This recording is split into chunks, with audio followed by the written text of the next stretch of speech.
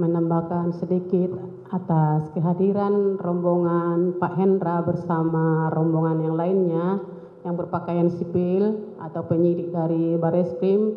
Mereka menyuruh kami untuk mengetahui bukti itu harus datang ke Jakarta.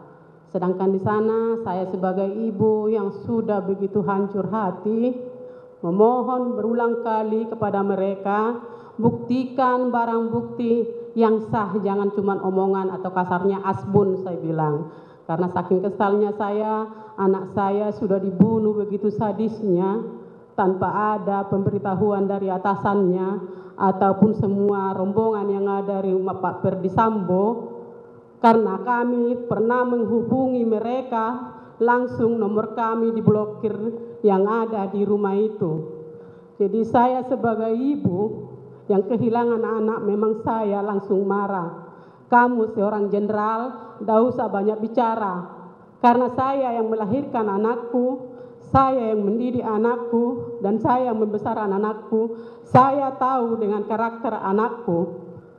Kalau memang anakku meninggal di rumah atasannya, seharusnya sebagai penegak hukum akan menginformasikan kepada kami, memberitahukan kepada kami bahwa itu adalah anak buahnya saya bilang.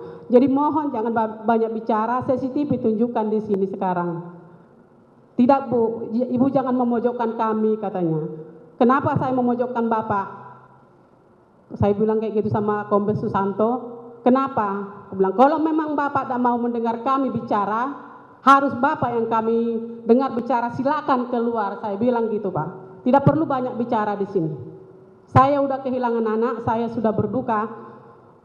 Ngomong, bicara sesuai dengan bukti. Itu yang saya katakan waktu itu Pak. Mereka keringat jagung langsung keluar, keluar. Karena saya bilang juga, komunikasi saya dengan anakku ada di HP. Sekarang HP anakku tunjukkan langsung malamnya Pak diretas semua HP kami.